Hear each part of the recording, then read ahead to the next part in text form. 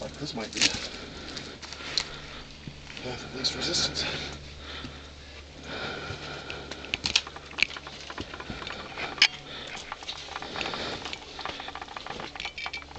Let's loose that.